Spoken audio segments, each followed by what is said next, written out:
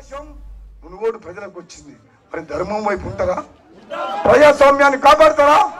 ఒక నియంత పాలనకు వ్యతిరేకంగా ఒక కుటుంబ పాలనకు కుటుంబ దోపిడికి వ్యతిరేకంగా వచ్చిన ఎన్నికల్లో ధర్మాన్ని కాపాడమని ధర్మం మిమ్మల్ని కాపాడుతుందని చెప్పి మీ అందరికీ రెండు చేతులు జోడించి నమస్కరిస్తున్నాను ఎందుకంటే పదిహేను గ్రామాలు ఉన్నాయి మేము పోవాల్సినవి.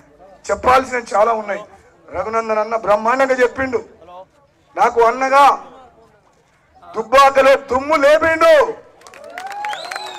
నేను అడిగినా రఘునందన్ నన్ను రావాలి అన్న నువ్వు. ఈటల రాజేందర్ అన్న అడిగినాం. మనమందరం తెలంగాణ పేద ప్రజల పక్షాన ఈ మహిళల పక్షాన ఈ పేదల కష్టాలు పోవాలంటే ఈ కేసీఆర్ కుటుంబం గద్దె దిగాలి. నిన్న ఏం చెప్పిండు కేసీఆర్? కేటీఆర్ ఏం చెప్పిండు? మునుగోడిని దత్తత తీసుకుంటాడు అంటున్నా అవునా? అంటే నువ్వు పెట్టిన క్యాండిడేట్ డమ్మి క్యాండిడేటా ఓర్ ఎట్లా మనం ఏమన్నా పోతే మనం ఎమ్మెల్యేలు ఏమంటాం? ఊరికి పోతే మీ ఊరిని దత్త తీసుకుంటామంటాం. అవునా? కేటీఆర్ ఏమన్నాడు?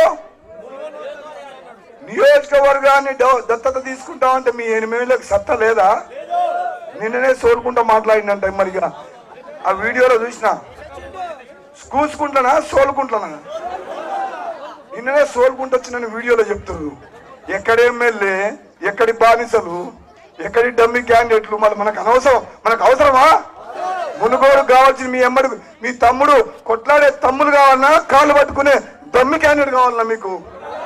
మీ అందరి తరపున మీ గొంతు వినిపించి మీ గౌరవాన్ని పెంచి మా మునుగోడు ఎమ్మెల్యే అంటే తలెత్తుకొని గౌరవ గర్వంగా ఉండేటట్టు చేసే బాధ్యత నాది. ఎవడో ఎన్నో ఏదో మాట్లాడుతున్నారు. నమ్మకండి. ఎందుకంటే పదవి త్యాగం చేసి ప్రజలకు పోతే ప్రజలు ఆయన వెంట నడుస్తారని చెప్పి లేనిపోని బట్ట కాల్చి మీదేస్తారు ఆధారాలు లేవు. అమ్ముడు పోయినట్టుండు అమ్ముడు కాదు కేసీఆర్. నేను మొన్న చెప్పినా మళ్ళీ చెప్తున్నా.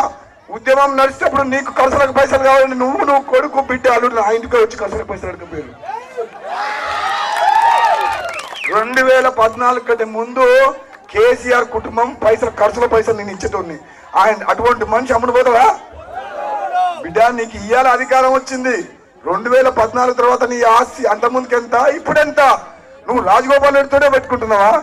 రాజగోపాల్ రెడ్డి గుండె నిండా ప్రజలు ఉన్నారు వాళ్ళ గుండెల్లో నేనున్నా. నాకు మానవత్వం ఉంది. అధికారం లేదు. అధికారం లేదు హంగామా లేదు పోలీసులు లేదు డబ్బు లేదు నా దగ్గర. కానీ మునుగోడు ప్రజల ప్రేమ ఉంది నా దగ్గర. వాళ్ళు అర్థం చేసుకుంటారు.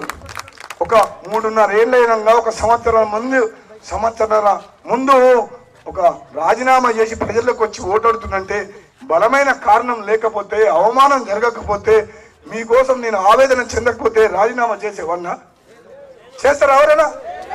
రాజీనామా చేసి ఇదే పదవికి రాజీనామా చేసి పార్టీకి రాజీనామా చేసి ప్రజల సమక్షంలో అమిత్ షా గారి నాయకత్వంలో మునుగోడు గడ్డ మీద రెండు లక్షల మంది సమక్షంలో కండవ కప్పుకున్నా దొంగసాటుగా అమ్ముడు పోలే.